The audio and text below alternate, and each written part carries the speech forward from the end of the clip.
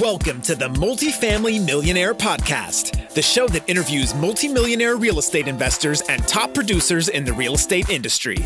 If you're looking to create passive income and achieve financial freedom so that you can do what you want whenever you want, you're in the right place. Our goal is to simplify and make real estate investing easy for you. For more information, you can find us at www.jlm.realestate. All right, everyone, welcome back to the Multifamily Millionaire. Today I'm joined with Brian Adams. He is the CEO and president of Excelsior Capital, and I'm stoked to have him on today. Brian, how you doing? Doing well, Jason. Thanks for having me. Yeah, thanks for coming. To start, would you mind just starting with a brief background of your story and what you do today and who you are in general? Happy to. So I'm a New Yorker who married a Nashville girl. My wife and I met in college up in Connecticut we did the Northeast thing for a little bit. I went to law school in Boston, moved back here 15 years ago. I practiced law for a number of years, and my wife's family has a single family office based here in Middle Tennessee. And because of that relationship, I got exposure to the investment managers and GPs and sponsors that we were investing with, both in private equity, venture capital, and commercial real estate.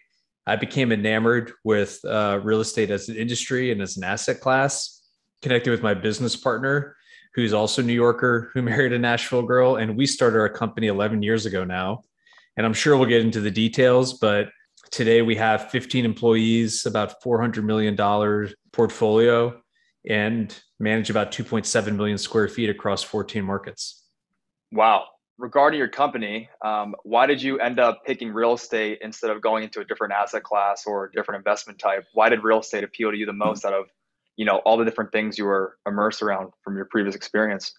It's a great question. I went to, I had the fortune of being invited to a class taught by adjunct professor Michael Burcham at Vanderbilt Business School.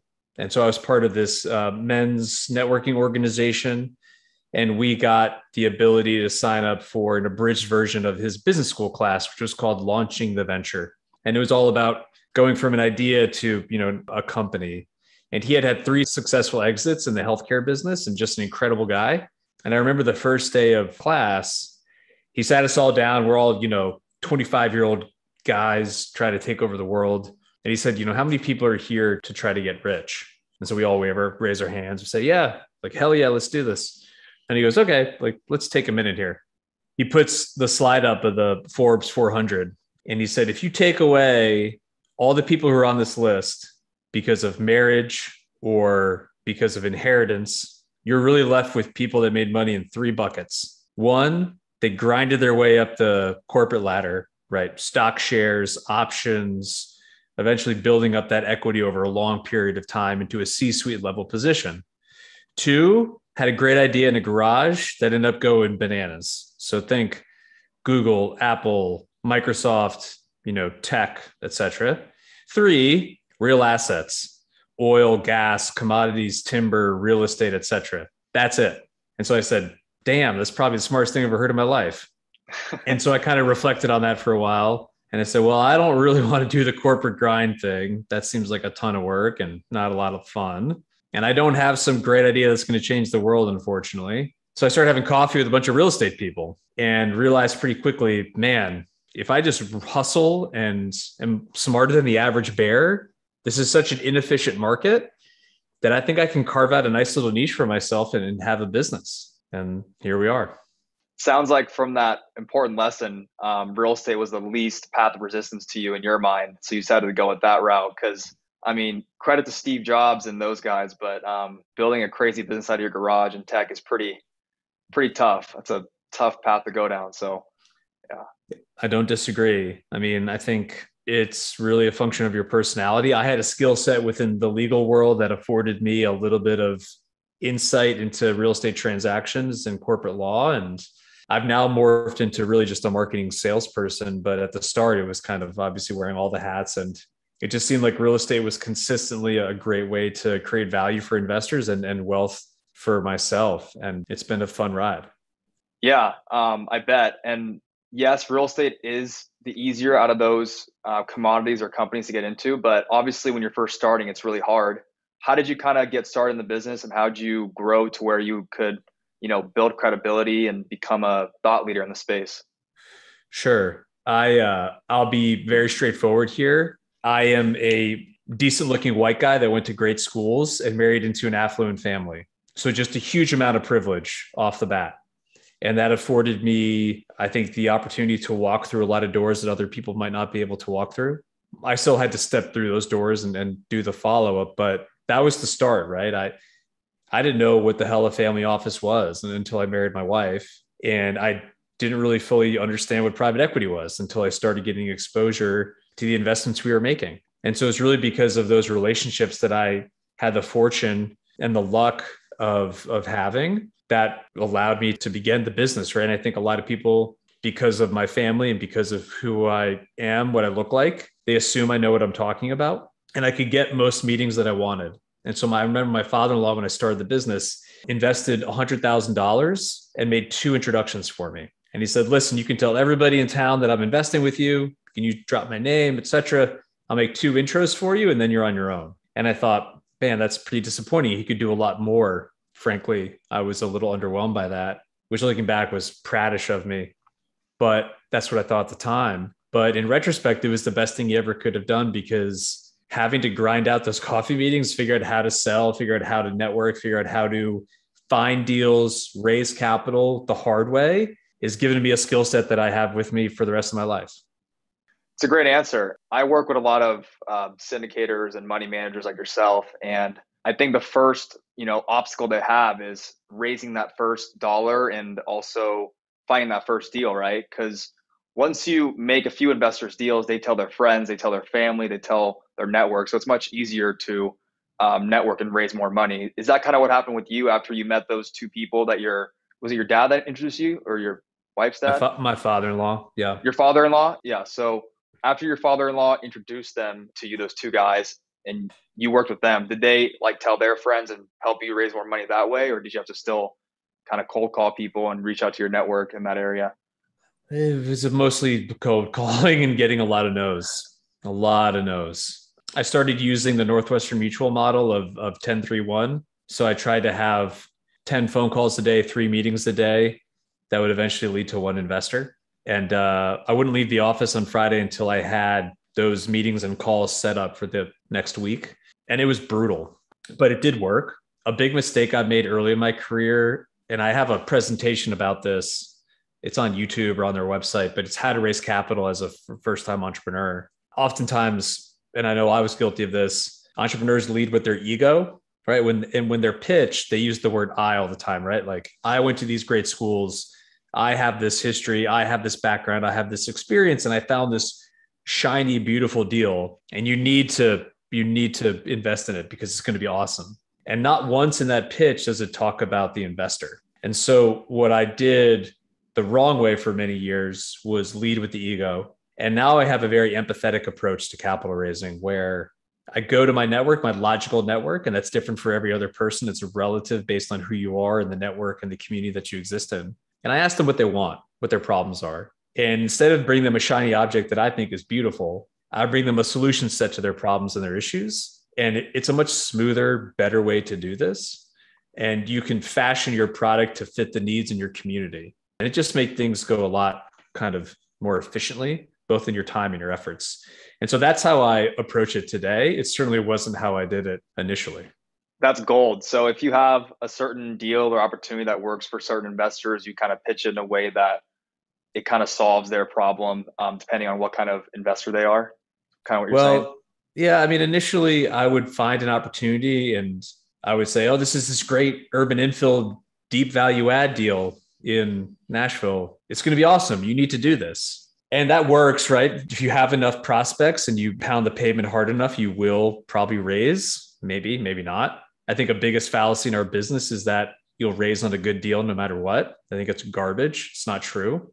So instead, what I did was I went to my high net worth individuals and families and I said, let's don't worry about me and what I might pitch you. I'm not going to pitch you. I want to buy you lunch and ask you questions. And so I started asking them questions. You know, what would the ideal real estate investment opportunity look like for you? How much would you invest realistically? What would you want the return expectations to be? What would you want the investor experience to look like? What would you want the reporting to look like?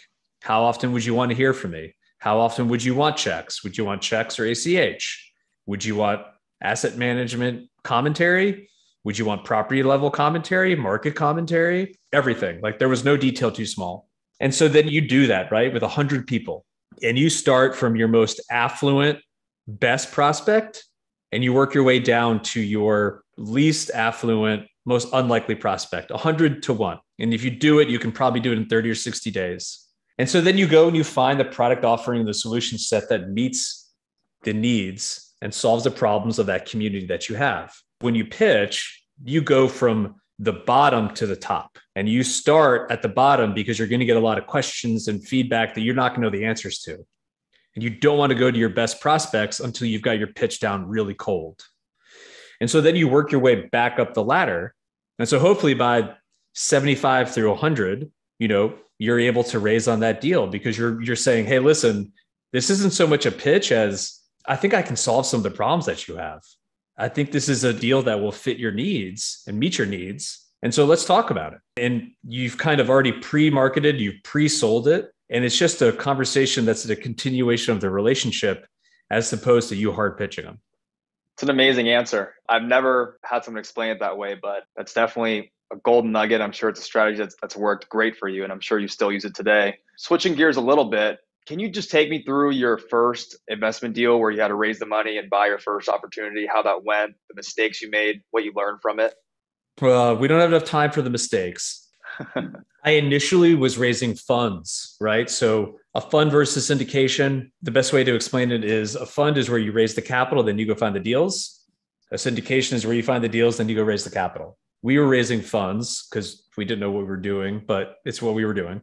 And so we had uh, raised a couple hundred thousand dollars and we invested we bought a office property in music row in nashville in 2010 and it was pretty hairy man i mean we barely had enough equity to do the deal we signed personal guarantees it was a small little property you know, cash flowed decently, but the tenants were awful. We were managing the asset, we were doing the property management. I was doing the leasing because I had my leasing broker license.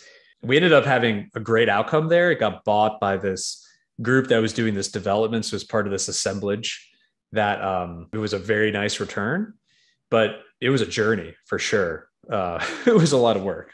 And how did you find that deal?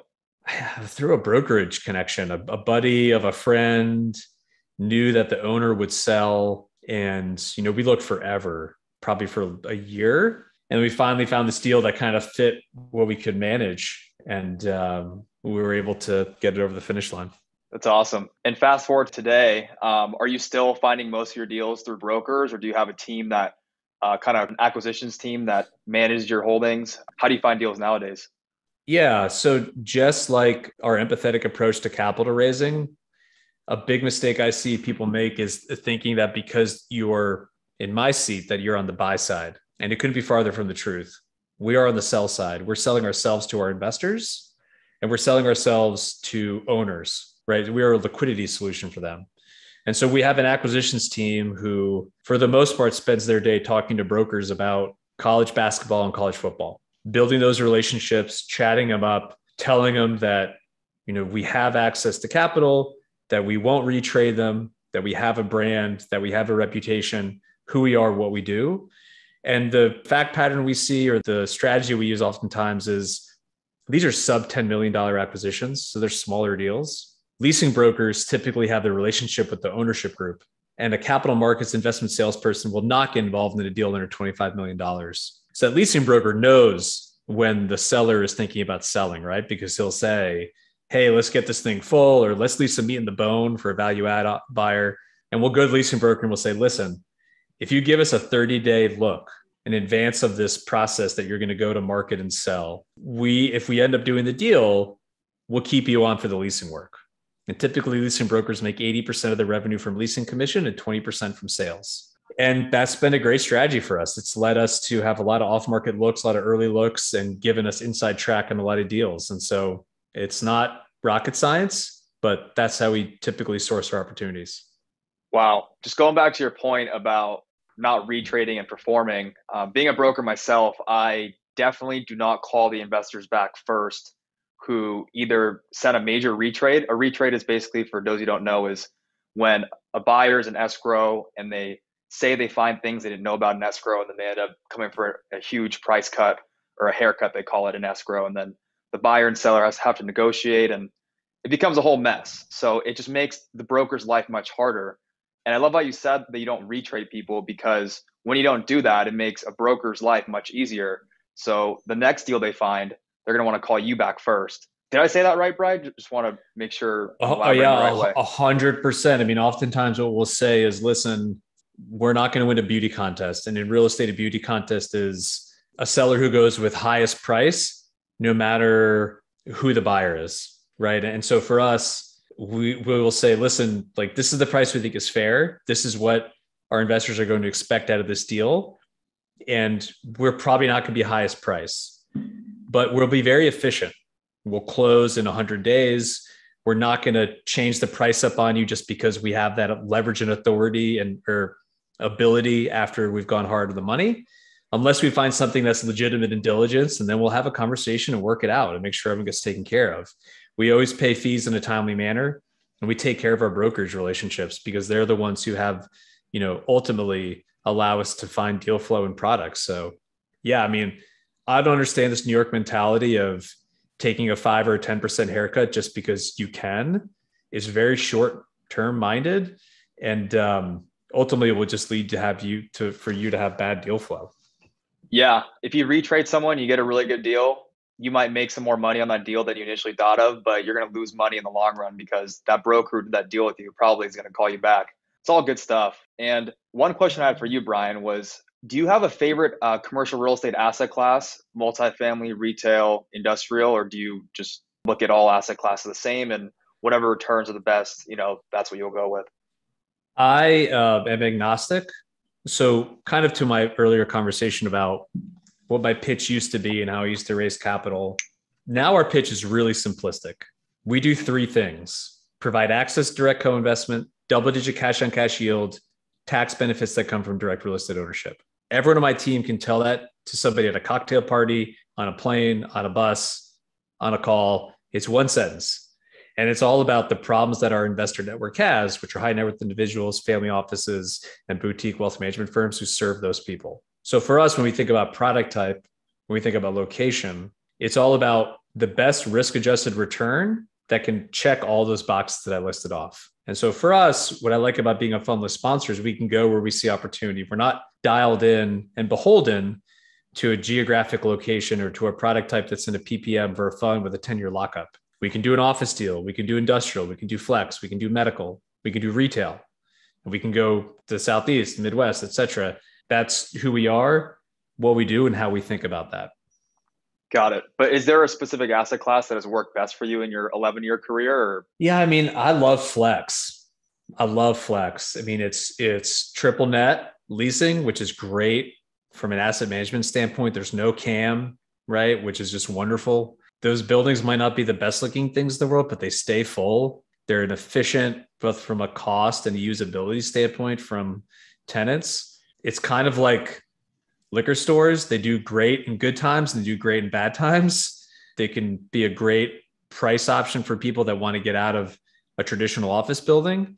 But when they need a distribution center, when the e-commerce is picking up, they need that back end. I call it the mullet of commercial real estate because it's kind of office, retail, business in front, and then industrial distribution in the back.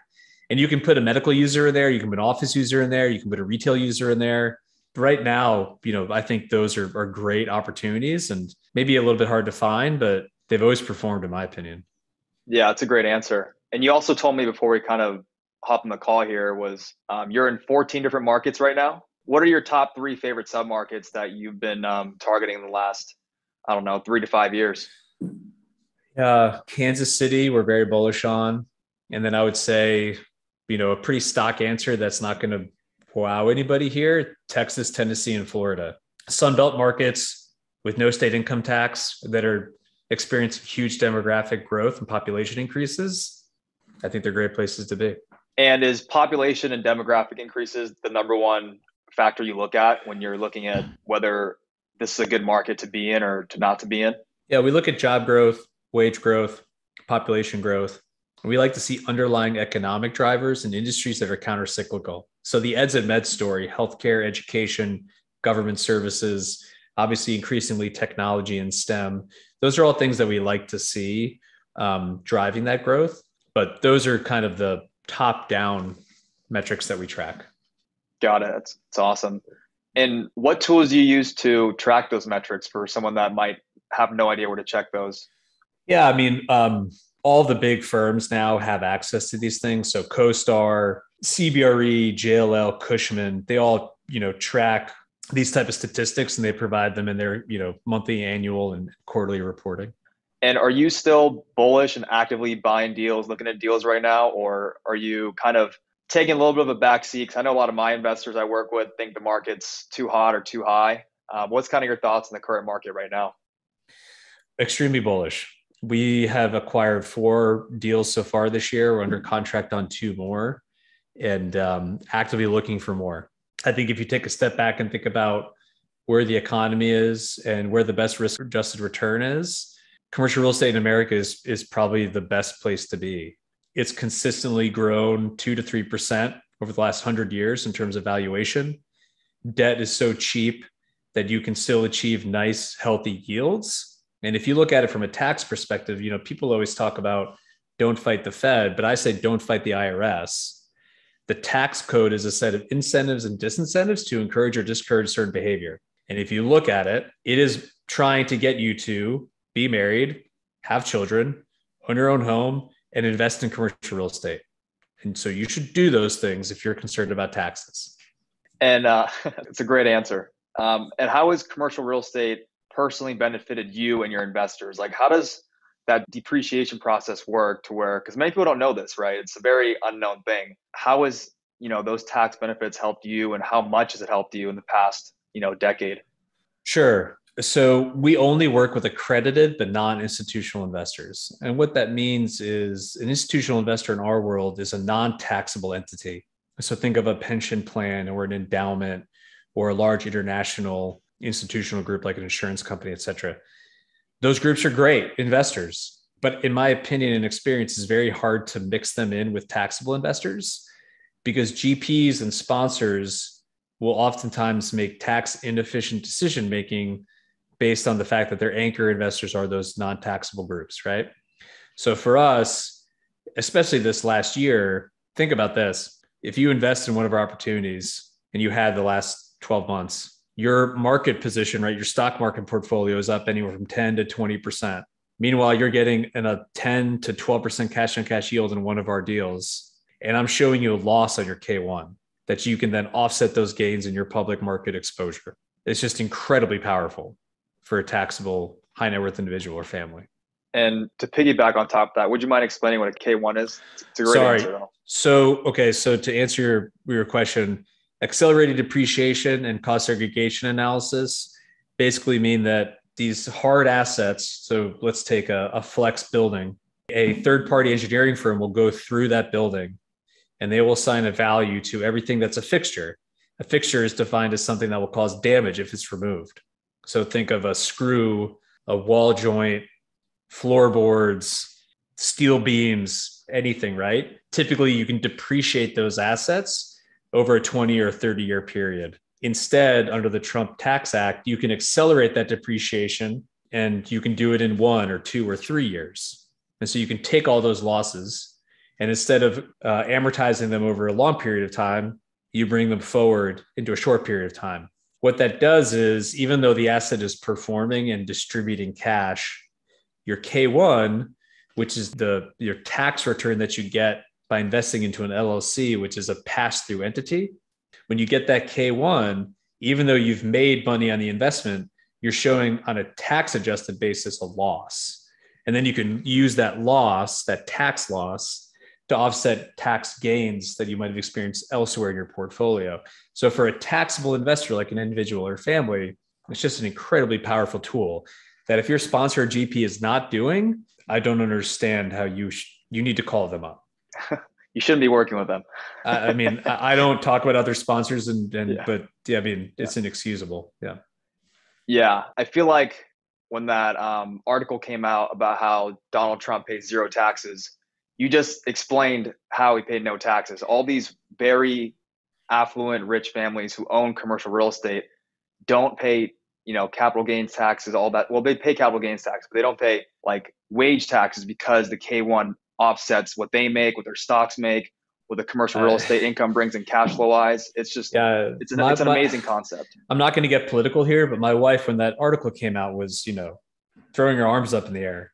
And I said, honey, we take advantage of the same exact things. So does every other real estate investor that I know. All he's doing is just what's allowable under the tax code. You might have more zeros than I do, for sure. But I mean, fundamentally, it's the same. Exactly. And the next question I want to ask you, Brian, was when you were first starting your company, you obviously started at the bottom of the market, 2010. What were some things you were seeing back then compared to what's changed now in the last 10 years of, you know, growing your business and investing in real estate the past decade? Oh God. I wish I had bought more real estate in Nashville. Yeah, I mean, there's so many differences, even though it's only been 10 years. A big one would just be this proliferation of syndicators. I mean, when I first started in the business, it took me a couple years to figure out what a fund was. And they didn't even really understand what a syndicator was. And my investors didn't even know what it was either. And now you go on LinkedIn, I feel like everybody is a multifamily syndicator. And you know, this advent of retail investors being able to access these private deals has become Main Street. It's become de rigueur and normalized. Where before it was still fairly exotic and the purview of only a small select group of people which I think is for the better, frankly. What that's caused, though, is price increasing and, and cap rate compression. And the biggest problem that I see today that I think a lot of people don't appreciate is on the institutional side, right? Those big groups that I was talking about before, the dynamic that's really troubling is if you're a German insurance company, by law, you have to invest part of your allocation into German bonds those bonds are yielding a negative return. So part of your portfolio is yielding 200 negative basis points annually. For that group, doing a three cap deal in Dallas or Austin on a relative basis makes a ton of sense, right? And so when you have that dynamic playing out, it just means that those, and they're doing huge deals, obviously, right? But that cap rate compression bleeds through the entire ecosystem. And now, where I may have been focused on $20 million deals, I'm now doing sub $10 million deals because that's where I have to find value. I don't see that trend going away anytime soon. And the other thing that people need to realize is because the market is such a public markets have such a run up, right? Stock positions are so much higher. When these groups do their annual review, they actually are now really under allocated to private equity and to commercial real estate. So they're going to have to deploy more capital to that space because relative to their position in the stock market, they're under allocated. And so you're going to see huge war chests of private equity funds raising record amounts of money because they know that these groups need to put that money to work to achieve their long-term return profiles. And so I think there's just going to be more and more liquidity put into the system. Yeah, that's a fantastic answer. I think there's so much capital on the sidelines. And I hear all these mom and pop investors, they're very angry about the current cap rates because, like you said, these big institutions, these big companies who need to park money, they're getting a negative return on bonds is like you said a three cap a four cap looks great. But people like you and me not so good. But um, for those of you that don't know what a cap rate is it's basically the property's net operating income divided by the purchase price. Basically the, the layman's terms is if you buy the property all cash it's the cap rate's your return. So if you buy a property for a million dollars you get a 3% return. You're making 30000 a year. But to move on to the next question brian um, if you were talking to a friend who's never bought real estate before they had no idea what it was or what it you know consisted of and they asked you how do i get started? What's the advice you would give them? So the flip side of this doom and gloom conversation we just had for the last 10 minutes is that what's really cool is because of podcasts like yours and linkedin and blogs and youtube and webinars you can educate yourself for very little cost if you just take time. And you can become an expert in multifamily investing commercial real estate investing flex, industrial, whatever, over the course of a few months. Because people like me, you know, we just give away everything we know in order to educate the the population in the hopes that they become investors, right? So it's a really cool time to become investors. And now with crowdfunding and syndication models and, and people like me and social media, you can actually get my deals because you can hear me on a podcast from somebody in San Diego. And then you can look me up on LinkedIn, go to the website, hear me on a podcast, and next thing you know, you're on my distribution list. So that's the really cool part is you can educate yourself. And I would encourage people, if you really want to be in the space, like spend the time, follow these people on LinkedIn, sign up for the distribution list because all the content is free. It's all out there. And then when you actually start investing, start with what you know, right? I mean, there's a reason sponsors start with single family homes, multifamily quadplex rentals, and then they move into more esoteric product types. But, you know, if you live in an apartment building and you know the area that you live in, try to look for some small deals in your backyard, right? You know where the developments are happening. You know what the school districts are good or what ones aren't. You know the good blocks to live on. And you don't necessarily need to do it all yourself, but start with what you know spread it around, right? Get a feel, make an allocation. I tell people, you know, if you have a dollar of liquidity, say this year I'm going to put 10 cents to work and I'm going to split it up into a penny and 10 different deals. And, you know, see what you like, see what you don't like, understand what your risk profile is. Once you do a development deal and it goes bust, or you do a really core deal and it's boring, go somewhere in the middle, right? I mean, make that allocation. Don't try to pick the winners, spread it around, get a feel, and uh, start with what you know. It's a great answer. I think what you said about knowing your backyard, I think starting in the market where you live in is the best because if you grew up there, if you've been there for the last five, six years, you know, street by street, like multifamily, what I focus in is street by street, right? Block by block. It's much different. Um, you might cross one side of the road and the market might be totally different. So it's a great answer. on the flip side, what's the biggest mistake you made in your real estate career and how did you learn and grow from that mistake? Well, we don't have enough time to go through the mistakes um, but I'll highlight some big ones. And this goes back to investor questions. I think oftentimes people in my business, if you're a fundless sponsor, you want to be a syndicator or general partner, you don't appreciate necessarily day one the fact that you're going to be investing in these deals and the deals need to work and need to make sense.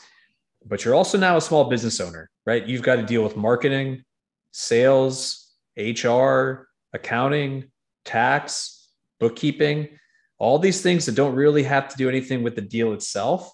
But unless you have the infrastructure surrounding the deals, you ultimately will fail. And that was a big mistake I made early on in my career was I didn't put enough time and resources and energy into that infrastructure and understanding the investor experience and everything that went into being in the investment space. And so they're two separate risks. And I think oftentimes investors, they only ask questions about the deal. They don't ask questions about the infrastructure, right? How many people are you on staff? How often can I expect reporting? What's the investor experience going to look like? All these other questions that maybe don't necessarily have to do with the opportunity itself, but are just as important. And so that that's kind of probably my biggest mistake that I've made that I've since kind of uh, righted. But um, it's a good question for GPs to ask themselves and for LPs to ask those sponsors. It's a great answer. And what have you done you know in the past 10 years to improve your infrastructure and to make sure that your business is healthy and running right and your investors are happy yeah a lot so the cool thing about what's happening is software and technology have enabled uh, people like me to have a lot of access to a lot of great tools that decrease the cost pretty dramatically right so we use juniper square for our investor reporting 24 7 365 portal it creates monthly uh, financial reporting. You can click through all the different investments that you have on your dashboard. We can upload K1s in a timely, secure fashion through it. It's an incredible tool. Didn't exist 10 years ago. And now it's you know reasonably priced. Asset management, my CRM. I hired a controller who's a CPA with a public accounting tax background. I paid up for that controller pretty heavily. But because we work with only taxable investors, that was a big mistake I made. I tried to outsource it I didn't take it as seriously enough as I should have. And we lead with our controller now and it, the tax advantages that he can bring to a liaison between the investors and their tax advisors themselves. And just the reporting in general, it was pretty poor initially. And now we lead with that reporting, right? We take it very seriously, monthly, quarterly, and just the value that I provide to my investors beyond the deal itself you know, I love working with individuals and families because I can use my network and my Rolodex to make introductions, show them best ideas, show them other cool managers, be a resource to them beyond just the deal. And really, Zoom and LinkedIn and all these other tools allow me to do that in a very efficient manner. And even the way that we raise capital, it was really hard for me initially to think that these investors don't want to have a two hour steak dinner with me to talk about how great I am and how great the deals are. Now we send an email out with drone footage with a subtitled pitch. We record the pitch where I act as the investor and my acquisitions person is answering my questions. We go through the deal, we do FAQ, we do pros and cons. We provide them with all the diligence through Dropbox. And then we give them DocuSign ability if they want to make an allocation off the bat we give it all to them, right? So that if they want to have the phone call with us, they can, but it's not always efficient for them. They may already like the deal, they already know who we are. Like those are things that, from a time saving standpoint, I think make a huge difference in terms of that experience relationship with me. That technology has allowed me to to just make a lot easier. Yeah, I definitely think technology has streamlined many processes in real estate in any industry. But it's a great answer. You make me want to invest in your company myself. I love the processes. I love how structured you are. It sounds like you've learned a lot over the years, and anyone who's listening to this is definitely lucky to hear what you've been through and the lessons you've taught. Kind of wrapping up here, what do you like most about what you do? Favorite part about running your company and being in the real estate business? Meeting different people. It's incredible. And real estate just full of characters. You know, the brokers, the owners, the tenants, the investors. It's the flavor of life even though I don't get to travel as much as I used to, it's amazing to me. You know, anecdotally, I was doing a webinar with this private equity person that's got this cool concept that I want my investors to learn about. I was recording a webinar with him. He's in Geneva. And then he says, I think somebody that works on your team, I know his brother. They were having beers in Bermuda on a family retreat. And so then I video in the guy's brother with the webinar so I'm in Nashville talking to somebody in Geneva, talking to somebody in Bermuda, and it's like it's all possible, right? And like I love the fact that I can make the world feel really small through my network and through these relationships. It's incredible. It is incredible. Um, the people you meet in this industry is it's amazing. Yeah. Now cool I know you. Yeah, I'm yeah. glad I met you, Brian. So last question for you. Where can our audience go learn more about you, Brian? Yeah, I appreciate that. Um, I'm very active on LinkedIn. Brian C. Adams, Excelsior Capital, hit me up, shoot me a note. I'd love to chat with you. Uh, we provide a lot of content there, so at least follow us and, and, you can see some of the product we're putting out there. And then the website is excelsiorgp.com. You can see the portfolio, you can see all of our content there. If you want to learn more about the investments themselves, that's a really great way to start that conversation. Perfect. Well, hey, thank you so much for your time, Brian, and hope to talk to you soon. Thanks for having me. Thank you for joining us on the Multifamily Millionaire Podcast, the show that interviews multimillionaire real estate investors and top producers in the real estate industry. We're here to help you create passive income and achieve financial freedom so that you can do what you want whenever you want. We'll catch you next time on the Multifamily Millionaire.